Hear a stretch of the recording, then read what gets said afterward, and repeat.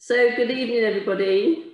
I hope you've just been inspired in watching that film. It is my absolute privilege to welcome Funke here tonight and to host the question and answers. So welcome Funke and thank you very much for joining us. Thank you, thanks ever so much. When Funke joined Burgess Hill Girls, I too was a teacher at the school. Back then, she was an absolutely formidable young lady.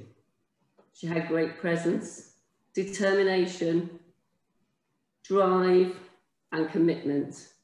She knew how, who she was, and she certainly knew where she wanted to go. I recall her history teacher at the time, a lovely lady who I know Funke is still in touch with, supported Funke in persuading her parents to let her study law and not follow the traditional expected route of going to medical school. At the time, I was Funke's PE teacher and her netball coach. It was my pleasure to discover and develop somebody who had complete raw talent. Calm, cool, collected, she used to move around the netball court like a gazelle, outwitting her opponents with ease. I'm sure she uses that in her career today. There were the occasions when she resisted a hard training session and really just didn't wish to work harder than was expected. But as such a talented young lady, she went on to represent Sussex one of the many achievements that Funke has had over all these years. So over the next 40 minutes, we have an opportunity for all of you to ask Funke and myself any questions you might have. I've seen a couple coming in already. So please put your questions in the chat box, write your name and where you're from, and we'll begin the question and answer session. Funke, I'd like to begin by asking you what memories you have of your time at Burgess Hill Girls. Thank you so much, Liz. Uh, wonderful memories of the school. As you know, Liz, I, have been back many, many, many times since I left um, and would have been back again this summer had COVID not put paid to our, our planned tea party. Um, wonderful memories, um, especially as I was a boarder actually, Liz. Um, you know, coming from Nigeria at such a young age, it was very important to have a home away from home. And there was very strong and still is very strong pastoral care at Burgess Hill. And the boarding community is really, really special. I'm still in touch uh, with those that I boarded with over the five years. And, and with my year group, actually, my, my year and the year above and the year below, I have a very active Facebook presence. So wonderful memories. I love going back to the school. Um, and I have to say, it's wonderful that you're now head teacher, Liz. I'm, I'm delighted, delighted that you're head teacher at the school now. But fantastic memories, really happy Thanks, Funke. okay, so I have a question from Anaya Shah. It's quite a lengthy question, so be ready. Congratulations, Funke. What you have achieved is fantastic. It's amazing that you pursued your career regardless of your ethnicity. I am a parent from a British Indian background and have worked in many different industries and now in education, but still find the barrier of my background to be an issue. What advice would you give to me? What can we do to change opportunities for those of BAME community in their profession? That's a great question. And I would say to that, that it starts with having a strong sense of your own identity yourself. You know, I often find um, that self-talk and just reminding myself of what my identity is um, as, as, you know, being British Nigerian, um, my parents, my background, my heritage, you know, being mother to my, my, my son, you know, all these things are part of your identity. It's very important that you own those things as the foundation. The second important thing, which takes quite some time, is the education piece around what the issues are. And at the moment, there's a lot around allyship and there are lots of allyship programs. I run one myself uh, currently because it's so, so important to get people on side who haven't come from your background. And a lot of it starts with education. It's understanding the history of the struggle. It's understanding and building empathy uh, with those who aren't like, like us, you know, who can't, with the best will in the world, uh, truly step into our shoes. But certainly we can work hard uh, to gain better, to pass on better understanding uh, and education. And then from there, there are specific actions that, that allies can take uh, to drive that change forward. And that's what I've found has actually worked. All the change I've driven uh, within the legal profession has been allyship based. Um, and that's how I've been able to win, you know, win round senior influential uh, law firm leaders and now increasingly in wider industry, one ally at a time. They get to know me personally, I share my personal struggles, and I'm doing that on a much broader scale. And that's, that's the recipe. I think that's the formula to driving change and understanding. Thank you, Funke. Now, here's a name you might know, uh, Max Abimbola. Max would like to know what are the steps we can take now in order to increase diversity in male-dominated fields such as corporate law? So Max, for anyone who doesn't know, is my son, who's now almost 18. So he looks very little like those pictures you saw in the film. He's much taller than me for a start. Um, it's a target driven approach. I, I really believe that um, I, I, have a three um, pronged attack when it comes to actually driving change. I start by looking at the data. You know, what's the data saying to us at the moment entry level, middle management level, and senior leadership uh, level? You know, where are we getting our talent from? The data will build that picture. We can very quickly begin to see uh, what the tail off is and when then interrogating the data with surveys and, and often having focus groups and trying to get to the you know, bottom of what's happening. Why are women, for example, when we're looking at the legal profession, uh, dropping out such huge numbers uh, about five years post-qualification? Um, and it's because maternity, you know, care responsibilities has a huge part to that. What I, I realized the secret of unlocking the success in, in freeing that up, if you like, was by actually empowering the men to, to take up more of the care responsibility. So I started doing a lot of work around parental leave because I realized there were a lot of men who wanted to have the flexibility as well. It wasn't just about the women. So data, action plan, setting targets, specific targets. 30% uh, is, is the agreed um, uh, figure that you know builds momentum up. So aiming for 30% uh, senior female leadership, generally speaking, that's where initiatives like 30% Club uh, started off from. And then the control mechanism is the third thing, because it's one thing to hit the target. What are you going to do to keep that momentum up?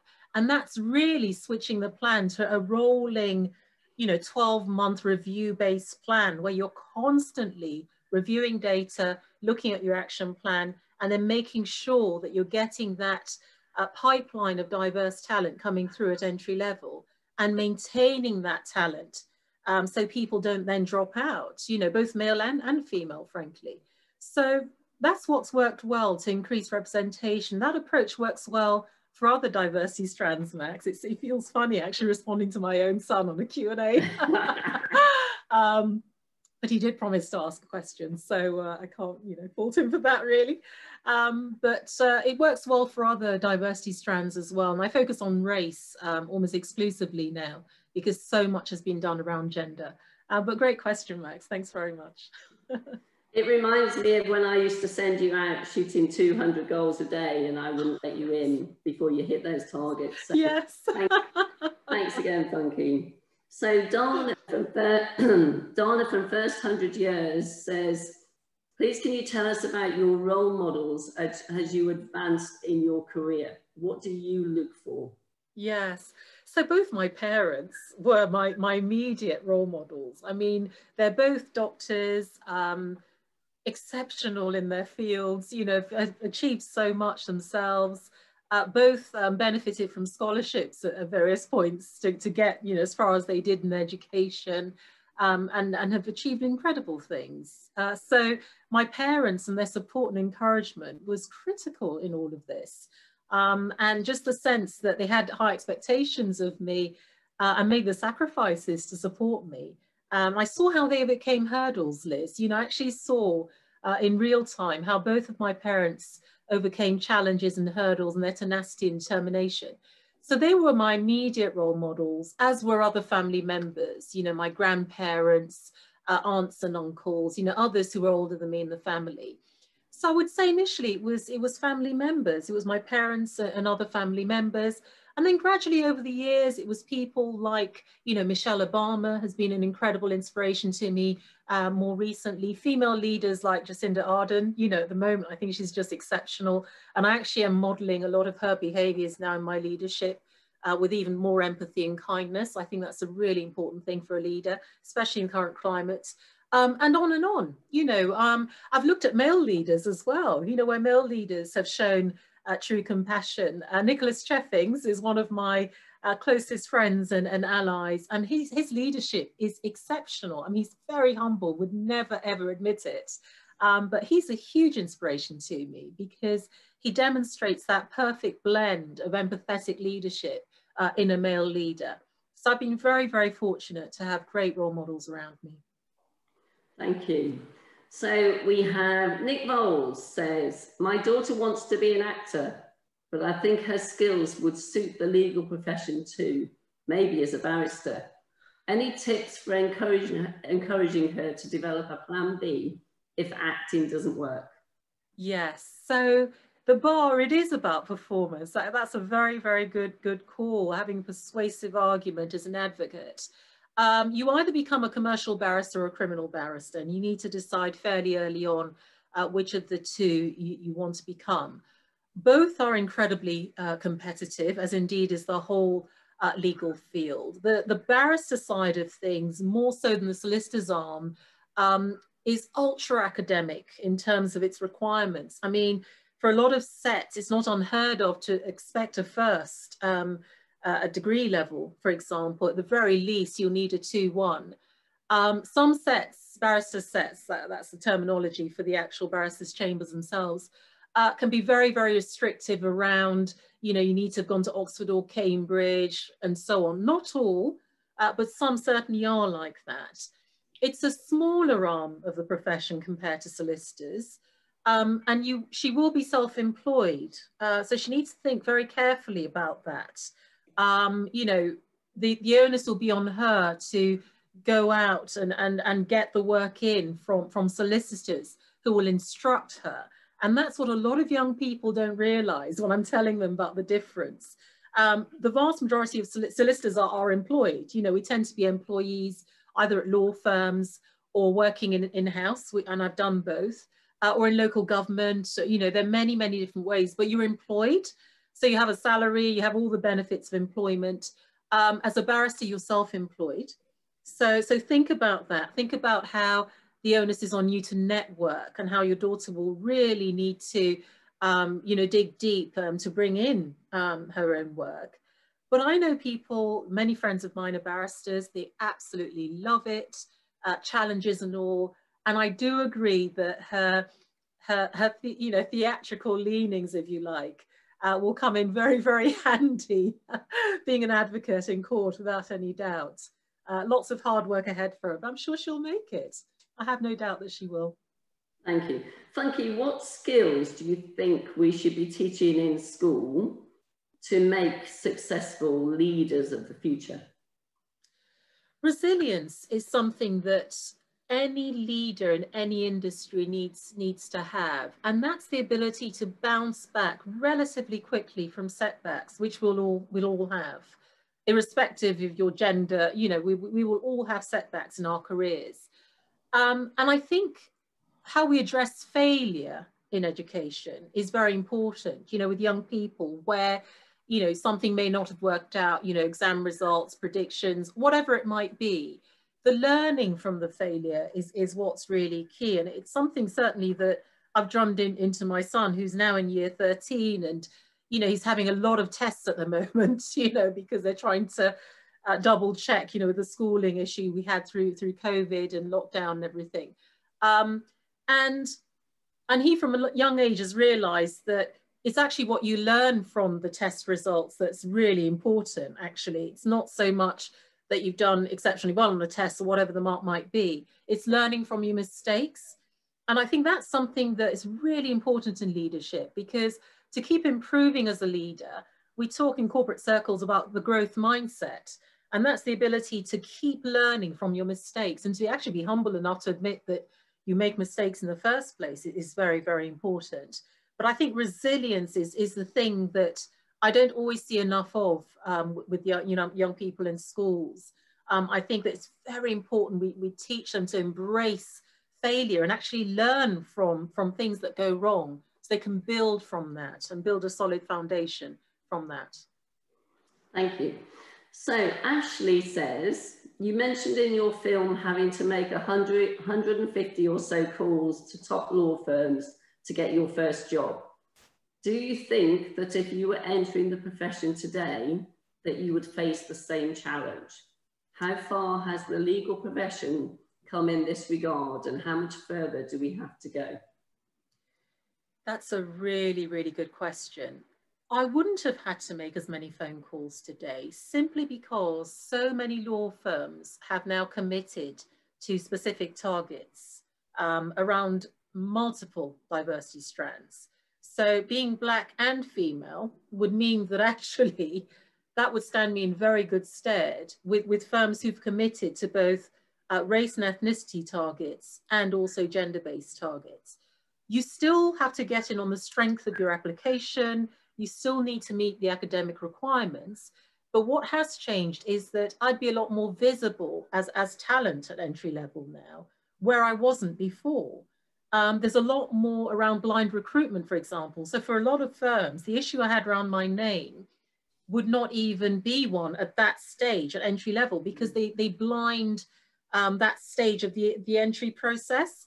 Uh, so your name doesn't show because they're very, you know, a lot of firms are aware that um, that there is bias when it's an unusual name. Um, and some carry that blind process right through to the panel um, stage where you actually have to meet people from the firm. Then they have mixed panels to try and guard against uh, bias there. So I wouldn't face the same struggles. In fact, I say in many ways, now is, is the best time actually to be trying to enter the profession. Um, you know, if you have the grades and, and, and all the rest of it.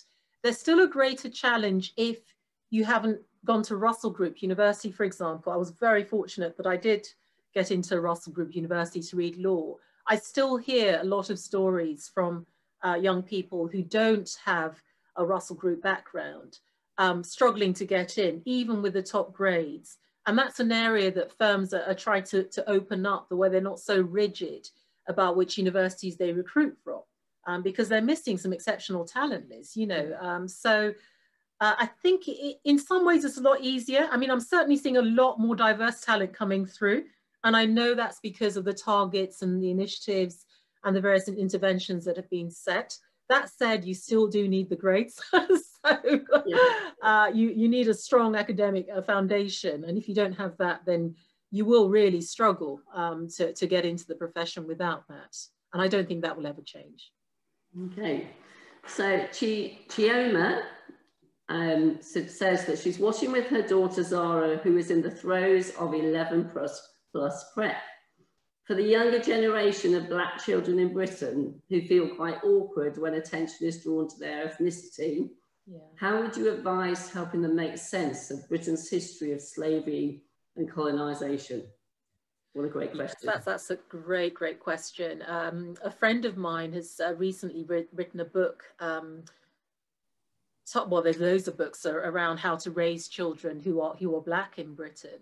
Um, and you need only look on Amazon and a whole list. I don't have a list in front of me, but there are many, many books around how you you educate as a parent because I had to be very careful how I uh, told my son, for example, about certain things that had happened. It had to be age appropriate. You don't want to traumatize your children about some of the things that have happened. Um, so there are lots of books out there now, thankfully, um, and they will give you the tools and the language to use and how you how you bring that up in a way that will build self-esteem rather than and move away from a victim mentality, which I think is what you're you're getting at, is that you want your daughter to be empowered uh, by the history rather than feeling that she could be a victim and you know doesn't actually want to uh, strive forward. And then I go back to the response to one of the earlier questions around owning identity you know, giving your daughter that sense of pride. So I'm, I'm saying this as a parent who's done exactly this with my own son, uh, who was actually born here. So he didn't have the benefit of having been born in Nigeria as I did. uh, he was he was British born, and and therefore, you know, we had to redouble our efforts, you know, his dad and I, to make sure that he really was proud of his Nigerian um, identity, um, and you know, was born with a British passport, you know, so um, so that was very very important that he didn't feel ashamed. Uh, to be Nigerian, he's incredibly proud of his Nigerian roots, always wanting to go back and visit. And that's what you need to instill in your daughter. Um, going back to the country where you know you were born or your country of, of heritage, if you like, with your children is also really key. I see real challenges with parents who don't do that with their children uh, for various reasons, sometimes valid ones. Um, but it is important that they go back home, you know, if, if you like, because it's only by being there that, excuse me, that they can get a real sense of, of what it's like there. They can see, you know, what home is truly like rather than what the media would portray, uh, for example, that Nigeria is like. Um, Nigeria is a very diverse country, you know, lots of wonderful things happen there as well as things that aren't so great, uh, like anywhere really. So um, going back home, visiting, strong sense of pride in history, um, strong, strong sense of self-esteem, building on the history and owning identity, I think are, are things that I'd advise on there. And they're all things I've done with my son. Lovely. So I have a lovely question here that says, Hi Funke, what would be your top tips to the young women at Burgess Hill to help them succeed and achieve their ambitions? Brilliant video and Q&A. Christine. Oh, thank you so much. Um, I actually, I give this talk called Climbing Mountains, uh, which, which Liz would have heard a few times now, I think. Um, and I have five top tips, in fact. Uh, so, you know, here goes hope I can remember them all off the top of my head. So the first one is focus, um, really focusing on what your goal is, knowing what your goal is, uh, playing to your strengths, actually. You know, you don't have to be good at absolutely everything uh, to succeed. Uh, you really don't. I believe strongly that leveraging your strengths uh, is key. Um, the second tip is to um, stand out from the crowd. And that's all about really harnessing those strengths and building up uh, your expertise in, in whichever area. So, you know, in terms of schooling, when I was at school, I was very good with words. I, would, I, was always very, very good at communicating, public speaking, the written word. So I, I, played to that. You know, I really, really, I was encouraged very heavily by the school with public speaking competitions and, you know, all sorts of things because, you know, the school recognized that was a real strength of mine. And that stood me in very good stead then for, for my career full stop. So the second thing is standing out from the crowd. Uh, the third thing is to keep learning. So that goes back to the point I made around resilience, learning from your mistakes, uh, learning in a structured setting, and also uh, development, learning, development plans. You know, the learning never, ever, ever stops, uh, basically, to, to really maximize your potential. The fourth is to support others. So that's about role modeling, uh, looking out for those who are looking up to you, There'll be someone who's, you know, looking to you as an example. So thinking about ways that you can give, give back. And the fifth one is where I'm very realistic about the challenges. And I, I call the fifth tip, keeping calm and keeping the faith, because you can do everything right and still have the wrong thing happen. I mean, I've, I've had many, many uh, setbacks and still do, frankly. Um, and you do just need to dig deep at those times and realize that, you know, good and bad come to us all. But the difference between the optimists and the pessimist is the optimist actually continues to believe there's a light at the end of the tunnel. Um, and, and there will be a light ultimately at the end of the tunnel for both the optimist and the pessimist. Uh, so keeping calm and keeping the faith is a fifth tip. So there you are, not just one tip, but five for you. So how's that? I hope that's okay. Thank you. So we have an anonymous uh, question here. Do you feel that blind applications would be fairer in all professions to try and even gender and race? How do you feel that there are targets for companies to hit in order to be seen as giving equal opportunities? I think I would love to see blind recruitment across the board. I really would. Certainly at the earliest stages when the CV and application goes in um, and the, you know, the, the application is being processed by the IT system. Uh, there's a lot of automatic tracking at the moment of uh, applications, which uh, discriminates against those who don't fit the mold in whatever way, and that's a real concern. So I, I you know, I'd like to see blind recruitment, certainly entry level, right up until the, the sort of face-to-face -face interviews. And at that point, that's when you'd have a mixed panel. The civil service does this really, really well. Uh, they have junior members of the team, senior members of the team, people from different backgrounds, all of them interviewing the candidate, all of whom have equal weighting in terms of who gets appointed for that role. Um, what was the second part of the question was around other industries, wasn't it? Yeah, so the second part was, how do you feel that there are targets for companies to hit in order to be seen as giving equal opportunities? Yeah, the, the, the targets are essential. Um, and it's positive action rather than positive discrimination because it's still merit based. And the reason we need targets is because we don't have a level playing field currently. We're missing out on huge amounts of diverse talent for all the reasons I've touched on, you know, at entry level and, and even at middle management at senior level. So without targets to bring out and encourage the pipeline of that talent to come through, it's impossible to actually change, you know, to redress the imbalance in the playing field. Targets are essential and so many companies have set them, not always around races and ethnicity as I, as I would like, uh, but gender has been, you know, relatively successful. And there's more and more around race. There's lots around social mobility, you know, those from working class and deprived backgrounds wanting to um, step into professional careers. There's lots of targets uh, around that. And indeed other diversity strands. Neurodiversity is a big one at the moment, disabilities and so on. But targets are key. It, it won't, it doesn't change unless, unless you set a target.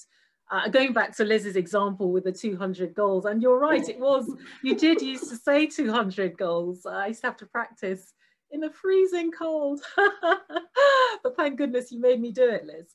Um, if I hadn't had that goal, I wouldn't have improved, um, and therefore I wouldn't have ended up playing for Sussex. So, so targets are very, very important. Um, essential. We made, 300 now, so you. Just... um, Monkey, I'd like to ask you a question about the balance, being able to balance motherhood and having a career. How was it for you, and what advice would you give to other people? Yes, so I was somewhat caught unawares, Liz, I must say, by the realities of, of juggling my career and, and having a young baby. I mean, it actually, you know, it, it took Max, Max's dad was the one who actually said, we need an au pair. You know, I was trying to do it without an au pair, and but given my career and and the hours that I was expected to work, we did need live-in help. And um, so there's no shame in that. You know, we had it au pairs for 11 years. Some were better than others, I have to say. But I'm in touch with a lot of the au pairs. I've been to weddings of au pairs, former au pairs, and so on, um, and built wonderful relationships with them. But you will need unless one of you is staying at home full time, you will need someone else to, to, to do that, you know, drop offs in the mornings, uh, the wraparound care at the other end of the day. And there's no shame in that because I just made sure we made the most of uh, the evenings and the weekends. Uh, and, you know, our son is a very well balanced, happy, cheerful, well adjusted young man. So he certainly hasn't suffered for it. Um, so childcare is key. Recognizing that you do need that childcare uh, is very important and not beating yourself up about it uh, is also very, very key. And that's how I kept my career going. Yeah, I would agree totally on that one. Um, how did attending a girls' school help you in your career? For me, it was very important. I mean, my father knew both me and my sister because my sister, of course, also attended Burgess Hill uh, girls uh, very well. And the focus that certainly for our sort of personality types that we got from being from girls uh, going to a girls' school was crucially important. Um, you know, I, I, was I had a tendency to be quite easily distracted. I'm not sure if my sister's the same, actually, to be fair. Uh, but you know, I, I, am, you know, by my by sort of nature, can be very easily distracted uh, by boys. You know, when I was younger, and uh, Dad thankfully recognised that. Um, and I was able to stay focused, which is that first of my five top tips on, you know, the key things, the important things. Um, the way that girls and boys, you know, learn is fundamentally different as well. Um, there's lots and lots of data to show that boys can do well in both a single sex and a mixed environment, but girls tend to do better in a single sex environment um, because of our makeup and we're less self-conscious uh, when we're with other girls. Uh, my, my son's given me lots of examples of the girls not wanting to answer questions in class because they're so self-conscious about what others might think about them and so on. So um, it was very important for me to be at a girls' school. I loved it. Uh, I loved the whole sisterhood aspect, um, girl power, even though we weren't calling it that at the time. Uh, the message at Burgess Hill Girls was that anything was possible uh, for us. And that was a very important foundation for me to have uh, going into, you know, the work, world of work. Um, and I'm hugely grateful to the school, Liz, as you know. Very grateful. so I have a lovely question here from Neve, who I is a current pupil at the school. Hello, Funke. When you were working, but also had to be a single parent, what was the biggest obstacle you had to face and how did you overcome it? Also, I think you are immensely inspirational and you are an amazing woman. Oh, thank you so much. My goodness me. thank you. That's a lovely thing to say. Wow. Um, I've been very, I was very, I am very lucky in the sense that, um, you know, although my, my husband and I are divorced, he's been very supportive, incredibly supportive of my career, uh, childcare issues, and, you know, telling me I didn't, we did need an au pair, um, you know, financially, uh, encouragement with, with our son, co-parenting style, all of that. So although the day-to-day -day responsibility has fallen on me because Max does live with me most of the time, it, it would be remiss of me not to acknowledge the role that Max's father uh, has played in all of this. Um, you know, he's been exceptional, continues to be uh, a really exceptional father uh, and, and co-parent.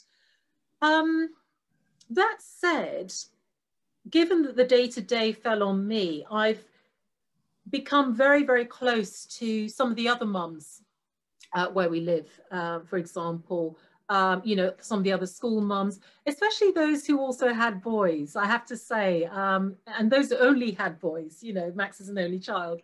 Um, and became really close. There were four boys when Max was at primary school where that was the case, where they were the only child and they were the only boy in the family.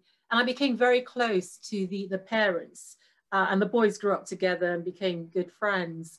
And that support and understanding is really important um, because there will be unique challenges that you're facing um, in, in the heat of the moment, you know, before I could pick the phone up and, and call Max's dad or, or share whatever the issue might have been. Um, family has been invaluable support. My mom, my, you know, my dad when he was alive, my siblings, uh, cousins, aunts, you know, you name it. Um, I'm very lucky with my family. Uh, the amount of times I've, you know, phoned my mom over the years and, you know, my, my various uh, siblings and, and family members. And they've been so encouraging and, and supportive over the years. And so you move away from that sense of isolation that can very quickly set in. Uh, when you're you you are the you know the single parent uh, with day-to-day responsibility so I've been very, very lucky, even though it has had its challenges without a doubt. Um, I've been lucky. I've been lucky. So that's, that's a really good question. What I would say is that I've had to make quite tough career choices because Max lives with me um, most of the time. So I haven't been able to take up global roles, for example. Uh, I haven't been able to relocate globally because I just couldn't do that um, with, you know, with the education and the stage he was at. Uh, and I feel completely fine about that. And I'm now looking to take on a global role now that, you know, he's, he's months away from starting at university in his last year at school. So uh, a career is a marathon, not a sprint. I think that's what I'll leave you with on that. And mm. bear that in mind when you're navigating your career. Lovely, thank you. So there's a question from here from Anne.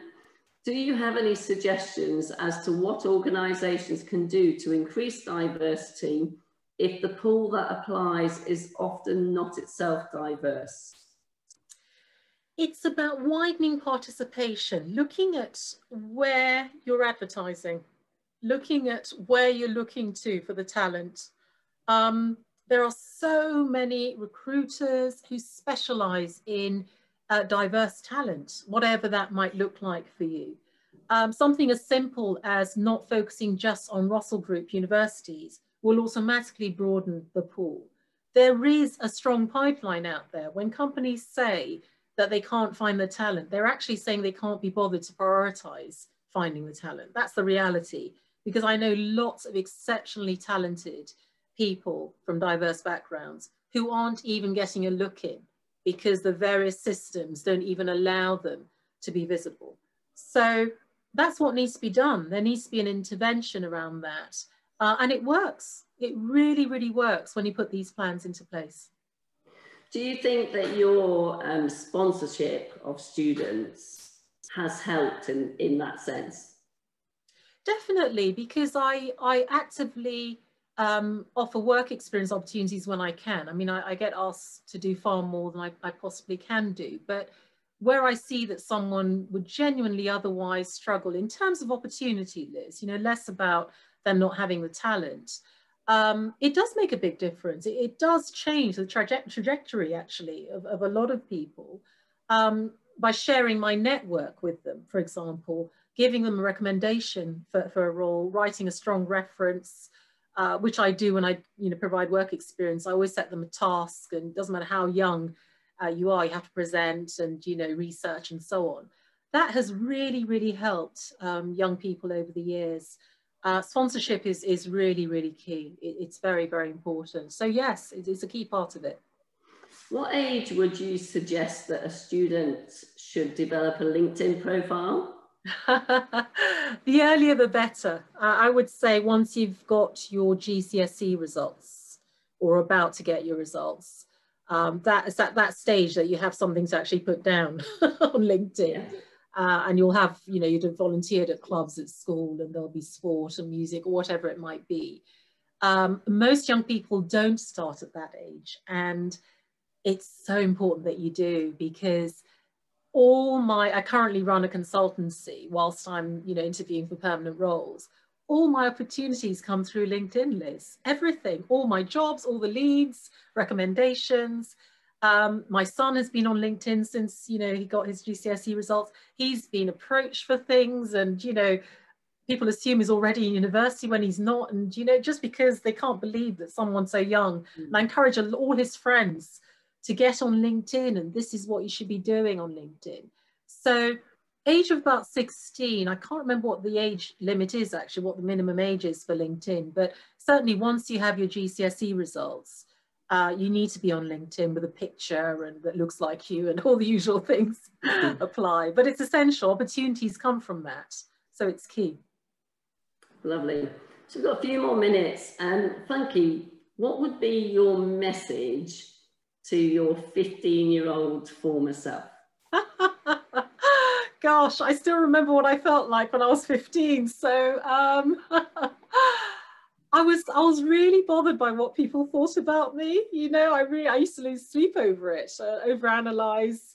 You know, what does this person think about me? And ultimately, it was a complete waste of time and energy. So, um, what I would say is that people will form their judgments irrespective of what what you do so just do you uh, if i had known that at 15 it would have saved me a lot of aggravation uh, and a lot of sleepless nights um, but yes i was only 15 at the time so that's a great question and what's next for you so my my goal is um, to focus more on diversity and inclusion in my actual full-time role, something that I've never done before. The activity has been on top of being a lawyer and a business leader and other things. Um, I really now want to be able to drive uh, change globally. You know, I've actually set myself global uh, targets around that. Again, targets are very important. Um, and I'm, I'm currently interviewing with that in mind, uh, really. I'm keen to stay within the pharmaceutical uh, industry, uh, which I, I, absolutely love and I've worked in for almost 10 years now. Um, but that's my goal. Um, and I want to see societal change coming from driving corporate change as well in my next role. So that's what's next for me, hopefully. Fantastic. So Funke, I think we've, um, there are no more questions in the chat. I don't know if there's anything else you would like to share with those people that are still on the call. It's been a fantastic evening. Would you like to share anything else with them? I just want to say for those of you who are students at the school, you're incredibly lucky to be at this school. It's honestly, it's um, you're very lucky to be at a school like Burgess Hill Girls. And whether you don't, you know, you may not appreciate that now, but believe me, when you leave the school and move into, you know, the world of work, and you will really understand what that what it means to have had this this education. Um, the other thing is that, you know, the point I made earlier about setbacks coming to us all, it's really important to remember that. It's important to remember that it's rarely personal actually when, when something happens to you. Sometimes it can be. Um, it's not permanent, you know, so things will improve with time and it's not pervasive. So don't believe that because this thing has happened, other things won't work out uh, for you either. It's really important to just, you know, focus on the one thing that's not worked out. Other areas of life can continue to work out for you. Um, I think that's the last thing I would leave you with, but you're very lucky to be at the school if you are currently a, a student at, at I have to agree with you of course. So, ladies and gentlemen, I'd like to thank you all for joining us this evening, but most importantly, a huge thank you to Funke for sharing your evening with us, sharing your film, but most importantly, sharing your story, your journey, and your just amazing effervescing qualities.